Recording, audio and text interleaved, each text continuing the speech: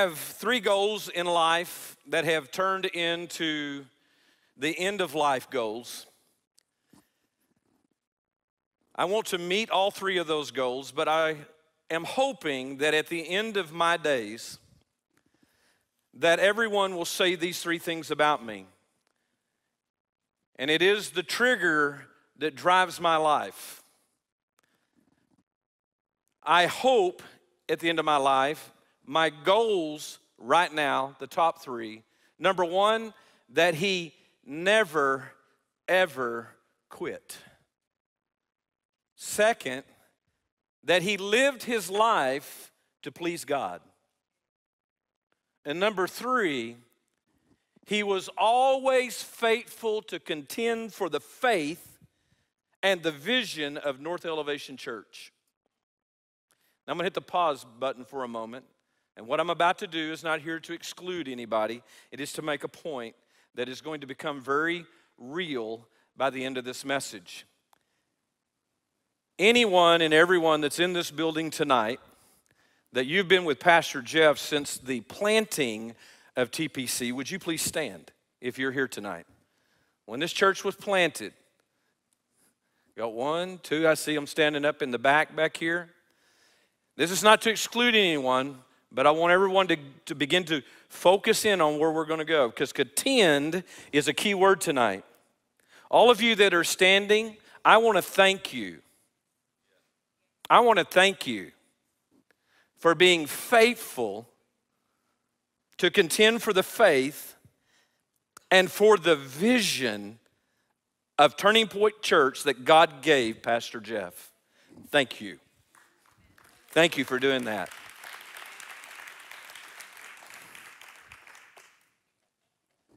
There are a lot of books in the Bible that are important. There's 66 of them. But in the Bible, there are books that have been forgotten. And at the top of my list that I find that people don't read much, that's been forgotten, is Jude, the book of Jude. It's a very fascinating book in the New Testament, just 461 words. You probably think there's just nothing in there. It's just 461 words. Why bother to read it? Within that book, I find a minimum of five sermons. There are lessons and insights to discover in this very unique book. But tonight, we're going to land only on the first four verses. We're going to look at who is the author. We're going to take a look at why did he write it? Who was he writing it to? Because it's very important, the book of Jude, because of the word contend. So we'll read in Jude 1. It says, From Jude, a slave of Jesus Christ and brother of James. Most theologians agree that he was the half brother of Jesus. So this is who's speaking. Now, who did Jude write to?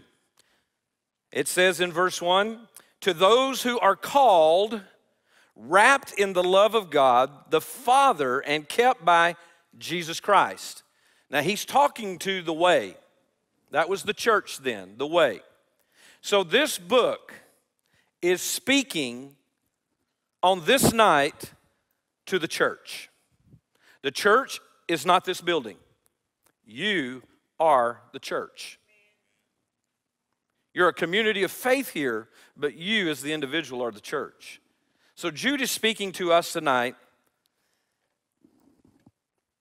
and he wants to talk to us about contending.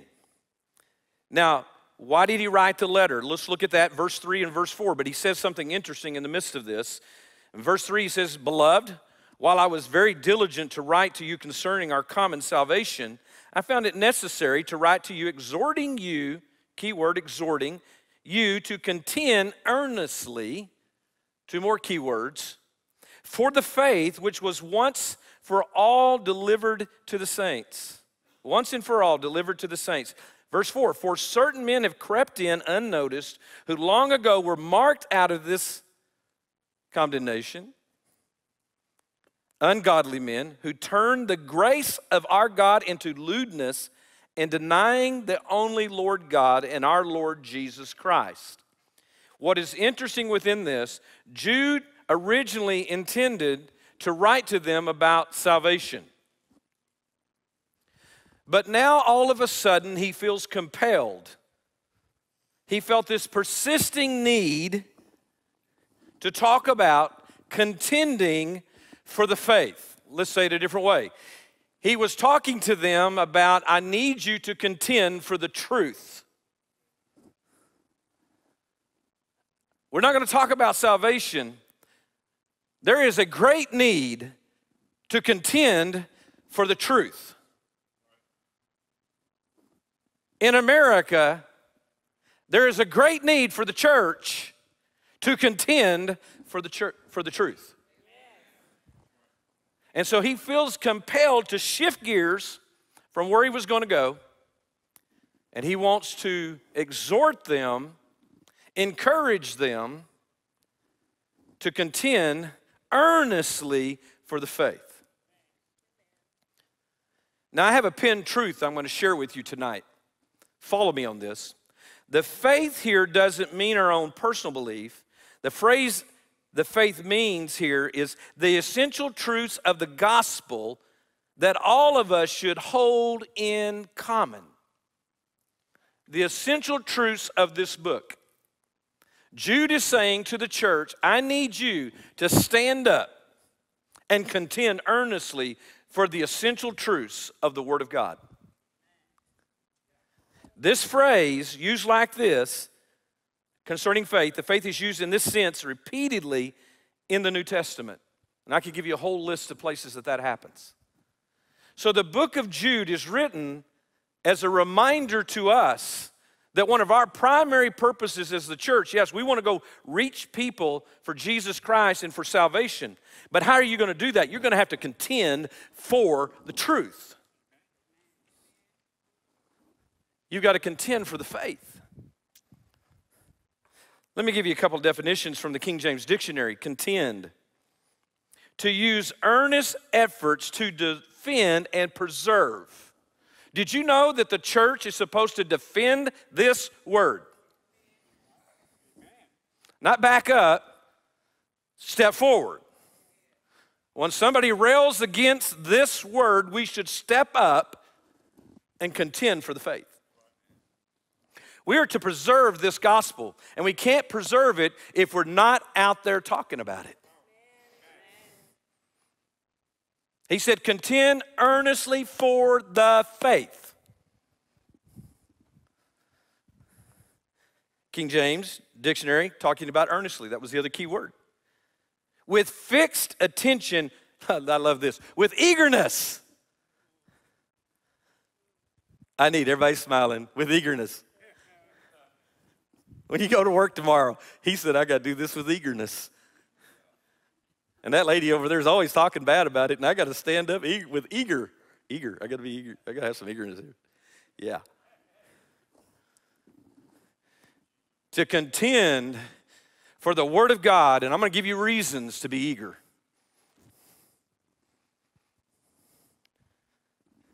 Somebody needs you to have some energy tomorrow and defend and preserve the faith. Someone needs you to have a fixed attention on the eagerness to share the gospel. That's how you contend for the faith. You contend for the faith.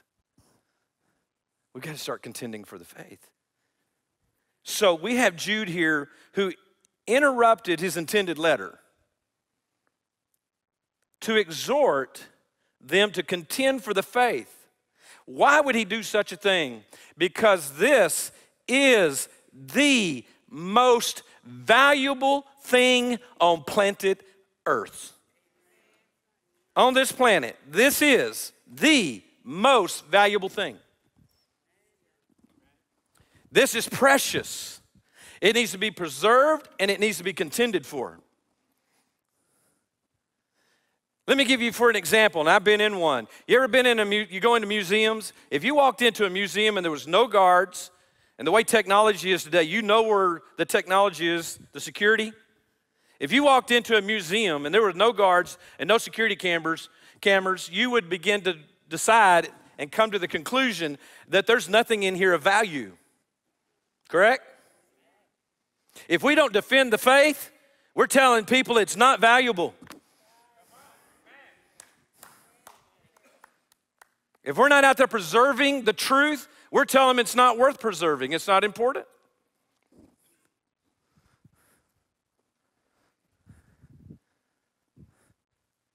Because this is the most valuable thing on planet Earth. Jude uses something here when you tie it down into the reality of what he was trying to connect with. He said, exhorting you, beginning to speak to the individual. Jude was speaking to the individual, and he expected that each individual Christian would contend for the faith. Through the years, I had people tell me, "Say, well, you just, it's just your job. Well, before I was in ministry and I was working out there, it was still my job. And the truth is, there are days that I long for those days past because there was, God was doing some cool things in the workplace. We are to contend for the faith, whatever position we have, wherever we are. We have to contend for the faith. Jude expected for each individual to contend for the faith. Jude had a deep concern for this treasure of faith being threatened. What does he say? Now, I'm going to take you into our world here in just a moment. This book is still very important in this day, speaking loudly to us. In verse 4, it says, For certain men have crept in unnoticed. If you have your cell phone with you, hold your cell phone up. I'm going to make a point. Just hold your cell phone up. Ungodly people are creeping into the church through that device. Times have changed. You can put them down. They can creep into the church and I know you have strong leadership here look that are going to protect you. But I'm telling you, in today, we have the outside creeping into the inside without having to even come in. I've said a few things in our church a couple times, not too long ago, some things. But in times past, I know that when you're looking at your phone, you're just reading scriptures with me. What is creeping in when we should be contending with the faith, for the faith? Are we contending for the message that Pastor Jeff is preaching? Are we distracted with the newest app that just came out? Should we review our apps and see what we need to get rid of? What is pulling me away from contending with the faith? I'm being serious here. Let me give you a for example of how powerful the outside coming into the inside without men creeping in eh, as it was in his day. Now they're creeping in and they're using technology. In one of our services a few years ago, I was preaching on tithing. And I know everybody in here, you just love to tithe, don't you? Yeah, amen. Say it real loud so that, you know, everybody on camera sees it, Pastor Jeff sees it, you enjoy. Yeah. Tithing. I'm preaching on tithing and I see somebody get up that's new, that's not uncommon. You're in a theater, I'm looking at everybody like this, you don't miss nothing. They go out, and then I notice some of my key people are going, they're not, they don't normally look at their phones, but their phones are going off. And I mean, and it starts happening in several places in the theater. I'm preaching on this, and this guy had the knowledge to hack their friend's phone that they were sitting by, hack their phone list, captured that phone list, not knowing where all it would go, and it started hitting and pinging people in our service while he preached another gospel about giving.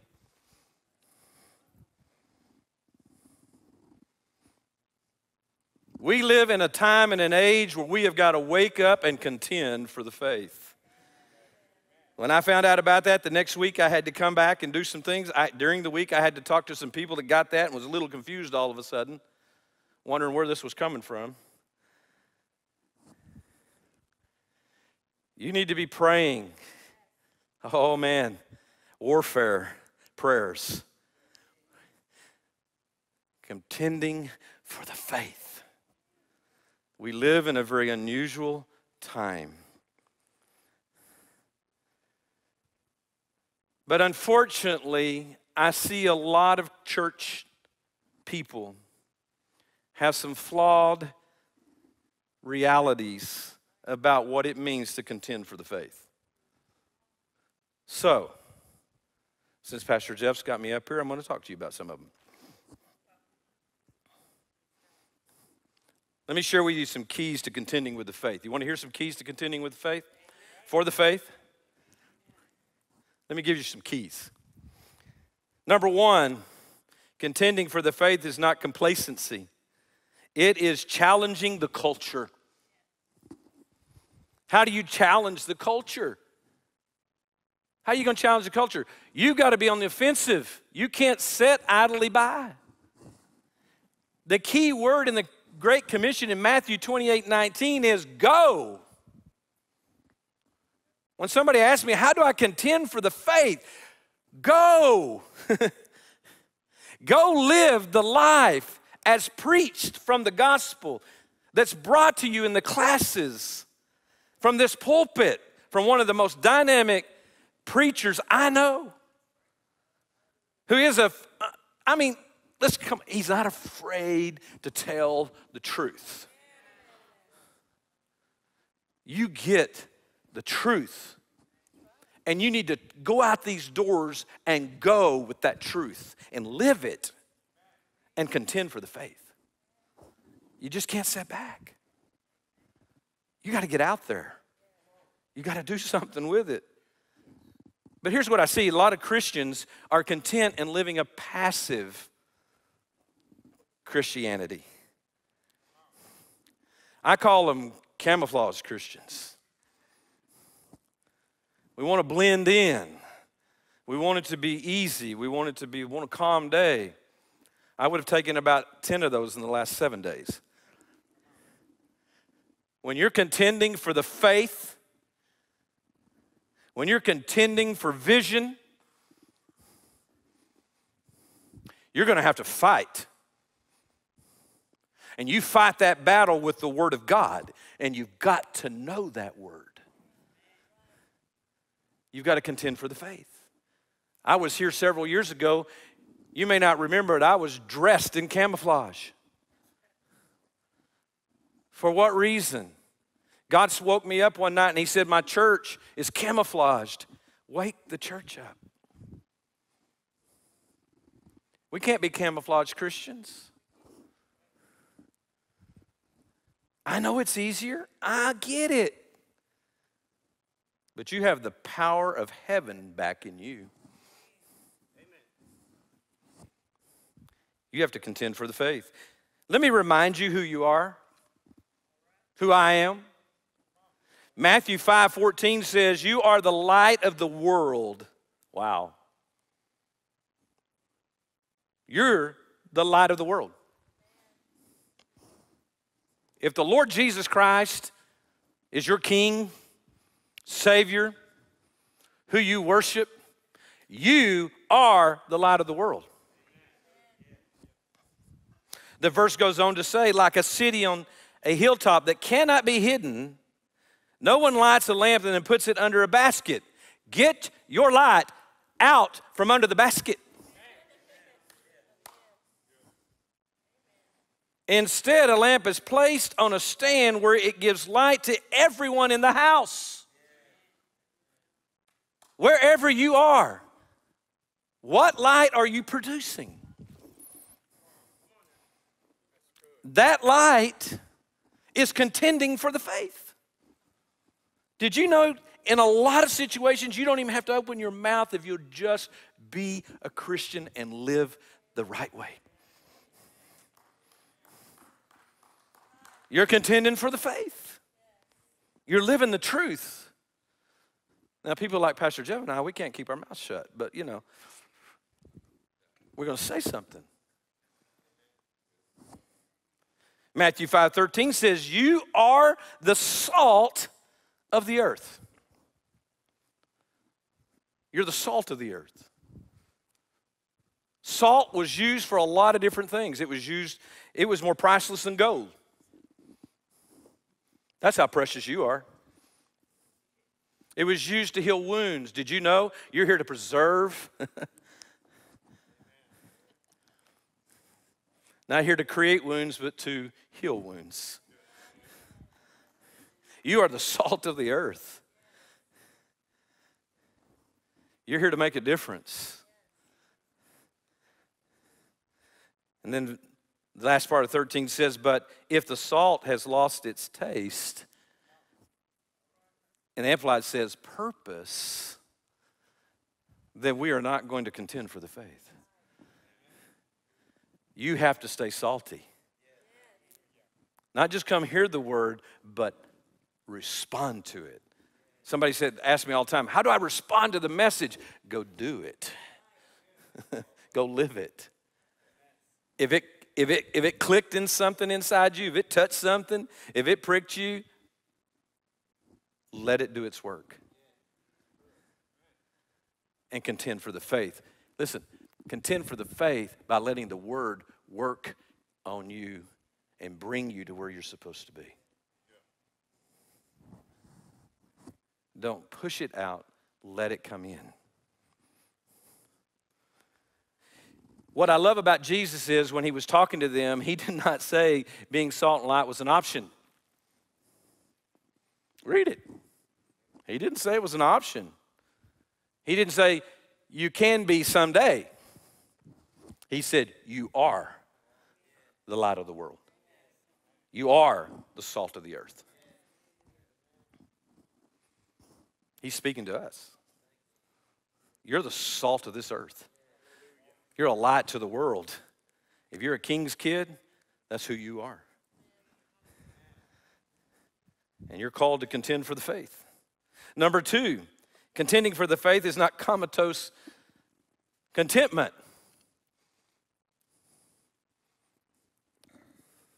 I use a pretty strong word there because I make, I'm, I'm just being honest. You can't have comatose commitment. It is determined comprehension. What do I mean by that? Too many think that the ignorance of the Bible and the Word is a good thing. Not accountable. Didn't know that. And so we take a back seat. Can I be honest with you tonight and be truthful with you? Ignorance of this word is dangerous. It's dangerous not to know this word. I hope you know you live in America, and it's dangerous not to know this word now. You got to know the Word of God. And you got to know it if you're going to contend for it. You got to know the Word. I tell people all the time, say, don't just read the Bible, live it.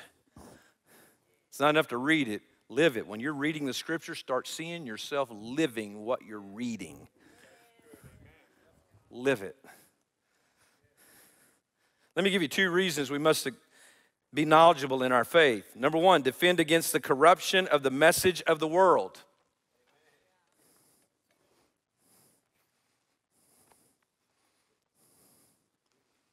You need to know this.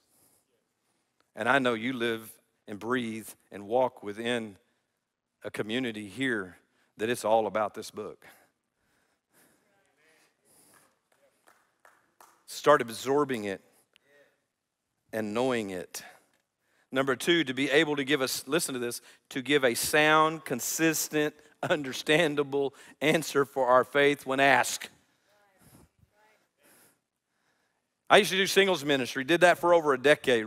My wife, Rochelle, and I, that's how we cut our teeth in ministry. And the singles were always bringing people to me. I said, What's this? And they said, Well, they asked me a question. I said, You could answer it. And I thought, Man, I'm doing a bad job. and I started realizing I had to step it up because these young people needed to be able to give a consistent, understandable answer to the questions they were being asked. I need to take them deeper. So they can contend for the faith. Because when they bring them to me, the person had already set up walls that had been broken down when they connected with them. And things could have been a lot different. Wouldn't have been as hard. Know this word. And don't let the deceiver, Satan, tell you that you cannot learn it like the person next to you. Yes, you can. Don't let him tell you, well, when I read it, I just don't get anything out of it. You stop that lie and you say, no, I have the mind of Christ.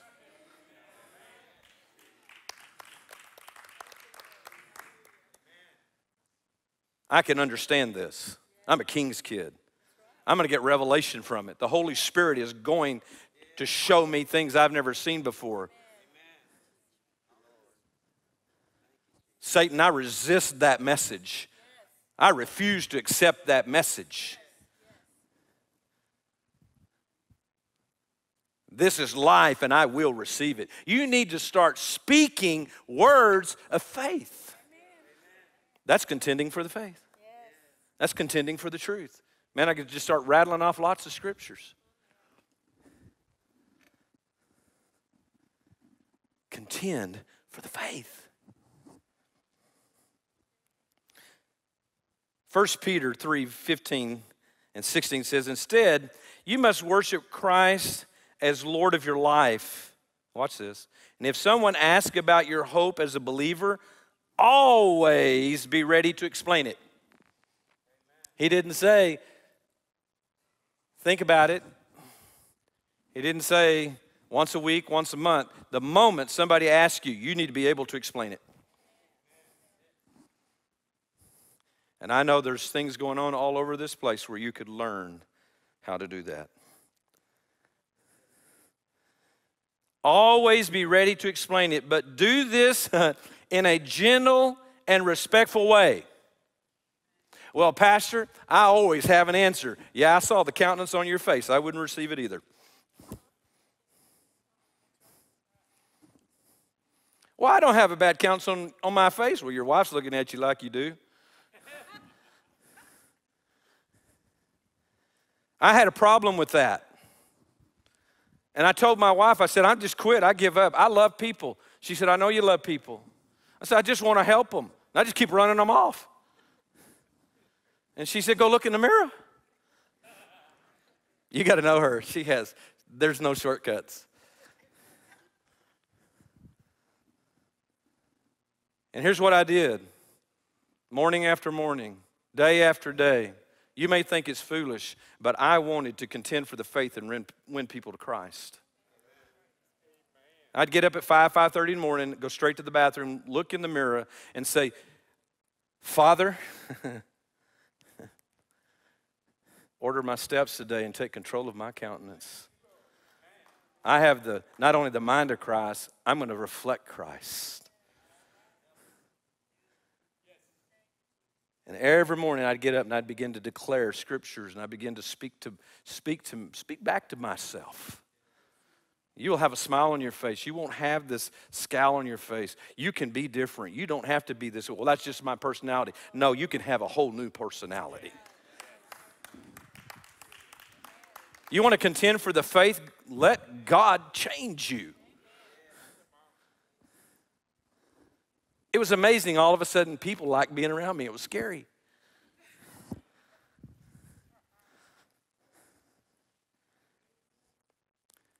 My question, and one of my lead elders here and another member of our church here not, and they'll tell you, my question is do you love people? All kinds of people? Then let the word work on you. Because it's all about people. You know why I'm here tonight? Yes, Pastor Jeff invited me to come. Yes, I have a word for you tonight, but you know why I'm here? Because I love you.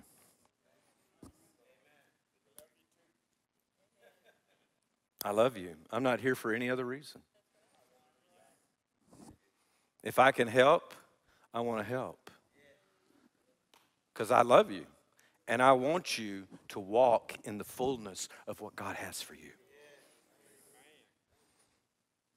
I love this church. There's greater things ahead. And there'll be even bigger things ahead when the church rises up and starts contending for the faith.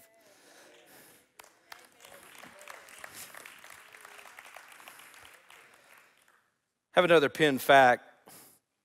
Scripture never condemns getting gaining knowledge. I've had that thrown at me. It is the world's wisdom that God considers as foolishness, not this. You need to gain all the knowledge you can get from this book. I tell people read books. I do. I read them, listen to them. I got them going all the time. But nothing I do outdistance my time in this book. And that's not because I'm pastoring. My wife will tell you it's always been that way. Number three, well, wait a minute. Let, I, I got to. Let me give you 1 Corinthians 1 18. For the story and message of the cross is sheer absurdity, folly to those who are perishing and on their way to perdition. But to us who are being saved, it is the manifestation of the power of God. You have the power of God right here to change your world if you'll contend for the faith. Verse 19 says, For it is written, I will baffle and render useless, destroy the learning of the learned, and the philosophies of the philosophers, and the cleverness of the clever, and the discernment of the discerning. I will frustrate and nullify them and bring them to nothing. Every time I read that, I go, Oh, Father, if I'll just contend for the faith, that will happen. Contend for the faith. How's he going to do that? He's going to do it through you. Stephen, they tried to argue with him and they couldn't get anywhere. And I'm believing for a church that's going to walk in that. Number three, contending for the faith is not being obnoxious and difficult. I almost brought you my message from this Sunday. My message this Sunday was about how to love difficult people. Someday that's coming. How to love difficult people.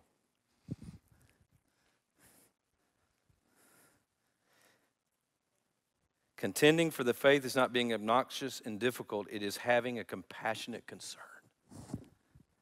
A compassionate concern for people. Ephesians 6:12 says, "For our fight, this is something we have to remember. I'm going to remind you of this because you're not dealing with people most all the time. You're dealing with a spirit behind the scenes. Love people, all kinds of people, and realize you have an enemy that is trying to destroy people. And we have to contend for the faith. For our fight, conflict, struggle is not against people on earth, flesh and blood, but against the rulers and authorities and the powers cosmic powers, rulers of this world's darkness, against the spiritual powers of evil in the heavenly realm. We are in a war against principalities and powers of the air and darkness in heavenly realms that are working many times through people. So you have a smile on your face. You go, oh God, I got to be kind to them today. I gotta, I gotta contend for the faith. Love difficult people. Because you may be the only person, and you don't realize it, that will reach them if you'll stand up and contend for the faith. Sometimes you're contending for the faith is have the countenance of Christ on your face. You may not say one word, but the countenance of Christ, the love of Christ in you is contending for the faith, and they are drawn to that difference. Love people, all kinds of people. We've always said this, and the church goes all the way back to when I first got saved in 83. I heard it all the time hate the sin, love the sinner. We had songs about that. Come on, some of you are my age. You remember them. Can I give you a new way to, to view that? Stand firm. I'm going to say it again. Stand firm and love well. Stand firm and love well. And the more of the kingdom power of the Word of God that's in you, you can love well. And you can stand firm. I'm the vice chairman of the Planning and Zoning Commission. I'm only bringing this up for a reason. I'm the vice chairman of the Planning and Zoning Commission for the city of Mansfield. It's not a small city anymore. And we had something going on the other night. And in love, I countered something. It's not good for the city where it was going. Wasn't good for citizens either. And I countered something. And I stood firm, but in love, and it turned. It'll work everywhere that you're at. I took a stand, but in love, standing in the reality that the Word of God helps me no matter what I'm doing. When I take that hat off, my pastor's hat, I put on my PNZ hat, I'm still a Christian. I'm still a Christian. I always see people say, man, who are you? You're not the person I met at church yesterday.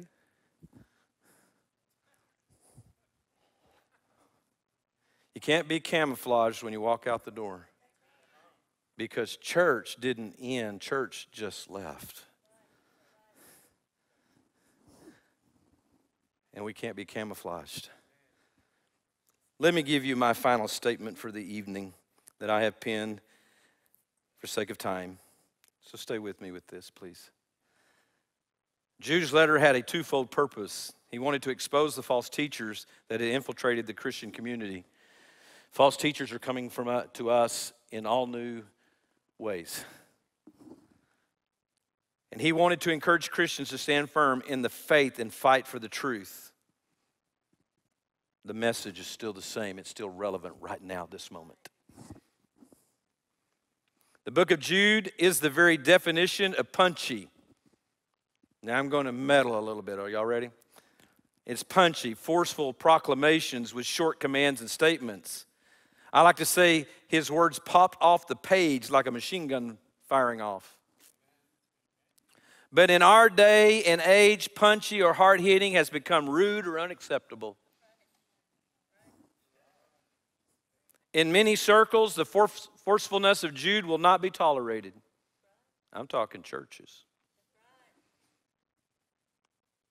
The crowds preferring a softer, gentle, gentler gospel so they don't feel compelled to change.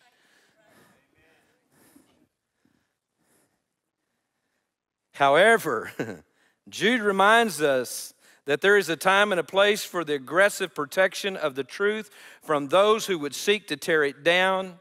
We are to be world changers, not be changed by the world. We have got to contend for the faith. Do not be afraid.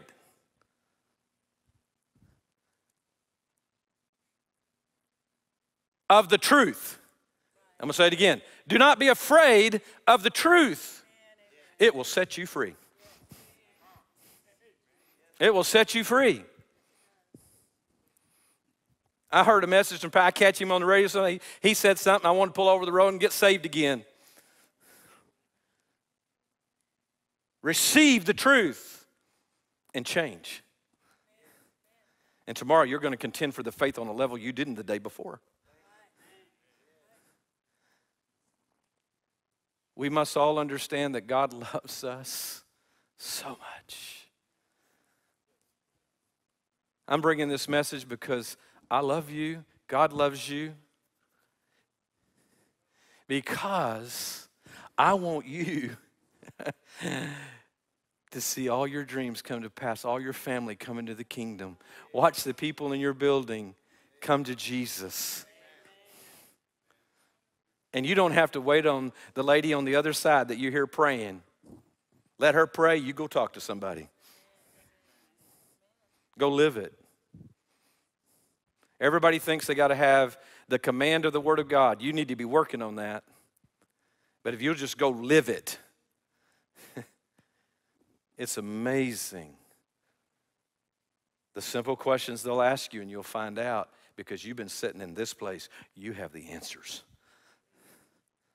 You have the answers. I have one simple question to ask tonight as we end. Would you stand and make this personal? Don't do this for the person next to you. I'm serious. Don't do this for any other reason. Would you stand and make a personal commitment that I'm going to take the next step, whatever that step is, and I'm going to make sure I'm going to contend for the faith? Would you stand? Is that you? You're going to contend for the faith. You may be contending for the faith on a level I'm not even contending for the faith. But I tell you what, there's new, there's new levels you haven't even walked into yet. If you're open to them. If you're open to them. Now, the last thing I'm going to ask however you worship God, whatever your prayer posture is when you're standing, whether that's with your head bowed and your hands folded or whether it's with your hands up,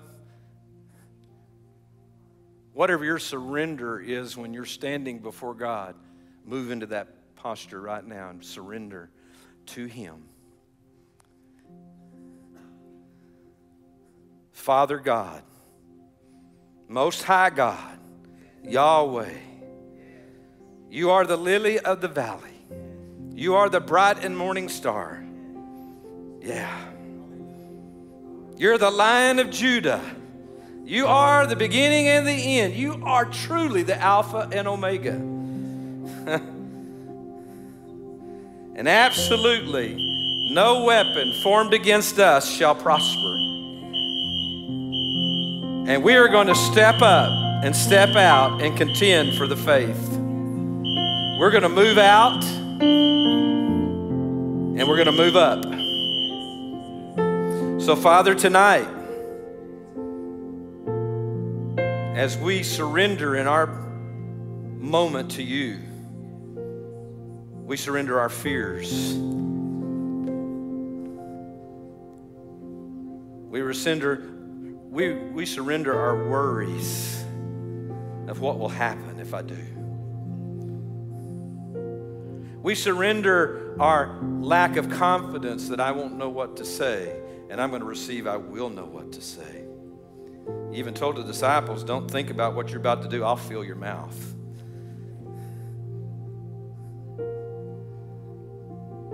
Father, I thank you. You'll fill my mouth. You'll give me the words to say. Holy Spirit, I surrender right now and ask you to order my steps starting tonight for tomorrow. When I awaken and my feet hit the ground, I'm going to believe you're going to order my steps so I can contend for the faith and bring glory to your name. Father, I thank you. I thank you for this church. I thank you for Pastor Jeff, Cindy, and all the leadership here and everybody that works so hard to love people. I thank you for the people that are in here that God just hunger for you. Come on a Wednesday night, you got to be hungry. Father, fill them now. In Jesus' name. Amen. You may be seated.